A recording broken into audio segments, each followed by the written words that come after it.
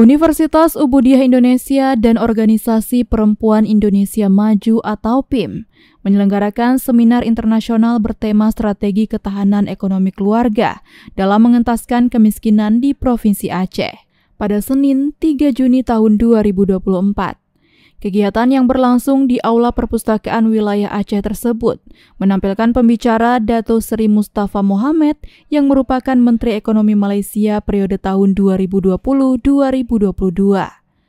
Dalam seminar tersebut, Dato Seri Mustafa Mohamed membagikan pengalaman dan ilmunya dalam upaya mengatasi kemiskinan di Malaysia.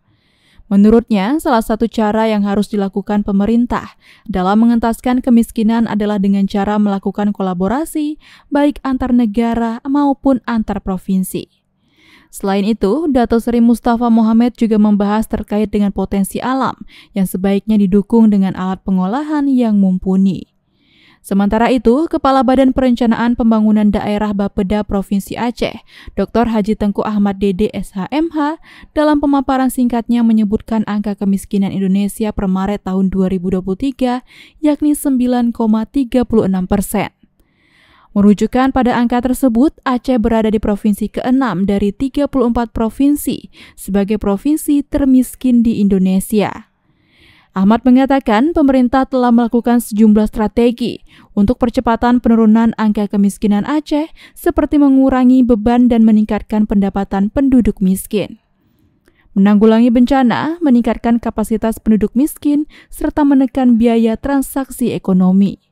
Rektor Universitas Ubudiah Indonesia sekaligus Ketua Umum DPD Perempuan Indonesia Maju Aceh, Profesor Ejang Dr. Marniati Mkes, dalam sambutan saat membuka acara berharap seminar tersebut dapat memberi solusi terkait permasalahan kemiskinan di Indonesia, khususnya di Aceh.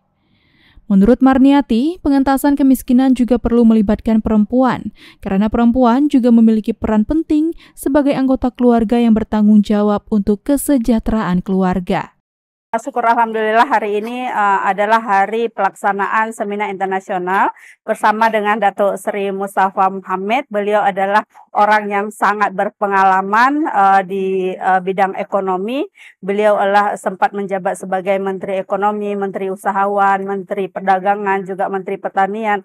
Tentu pengalaman yang luar biasa hari ini di-share bersama dengan Perempuan Indonesia Maju dan juga uh, mahasiswa-mahasiswi Universitas Ubudiah Indonesia untuk mendapatkan pengalaman bagaimana uh, mengurangkan angka kemiskinan uh, di Malaysia yang mungkin dapat menjadi satu uh, sampel atau contoh untuk uh, menurunkan angka kemiskinan di Provinsi Aceh. Turut hadir dalam seminar tersebut PJ Wali Kota Banda Aceh, diwakili staf ahli Ardiansyah SSTP MSI, Kepala Dinas Arsip dan Perpustakaan Dr. Edi Yandra SSTP MSP, anggota Organisasi Perempuan Indonesia Maju, serta dosen, staf, dan mahasiswa Universitas Ubudia Indonesia.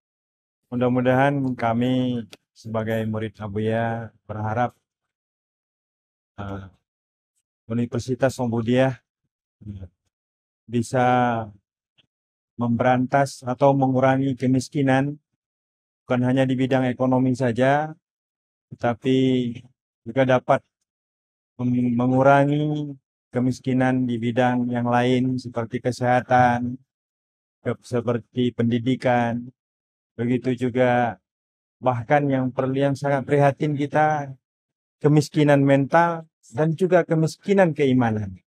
Dari Kota Banda Aceh, tim liputan UB On TV melaporkan.